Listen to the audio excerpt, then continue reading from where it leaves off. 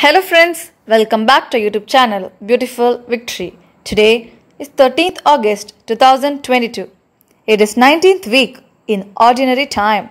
In this video, you will get to know about the saint of the day, gospel reflection and quote of the day in the end. Saint of the day Saints Hippolytus and Pontianus, martyrs.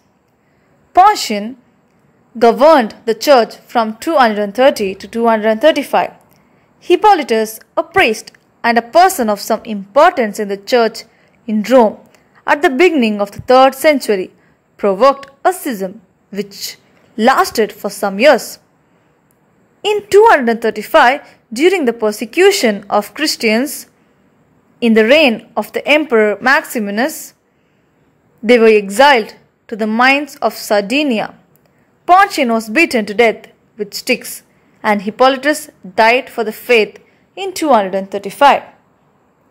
Gospel Reflection from Matthew chapter 19, verses 13 to 15. In today's Gospel, loving parents wanted to bring their children to Jesus. For if he would bless them, pray for them, and place his hands on them, then surely those children would be protected and healed and blessed. Which parent wouldn't want to?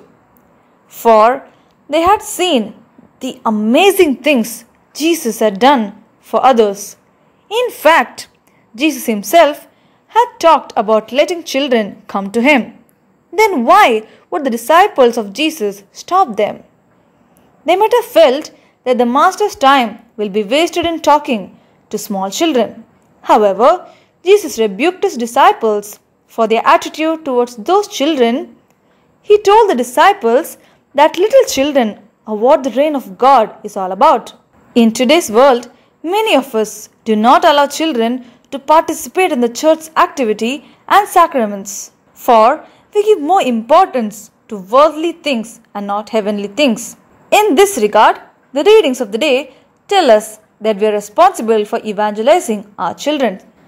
God views children as important in His kingdom. Children are the future of the Lord's church. As Jesus' dearest ones, we ought to respect and teach good values to them. Let us ask these questions to ourselves. Do we block children nearing to Jesus like his disciples did? Do we bring children near to Jesus?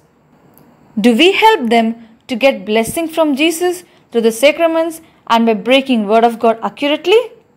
We quite often hear of more horrible instances of child neglect, child abuse, child trafficking, child labor, abortion, etc.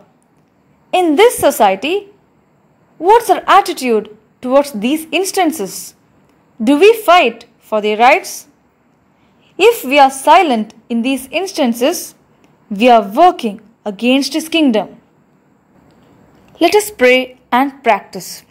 Lord, help us.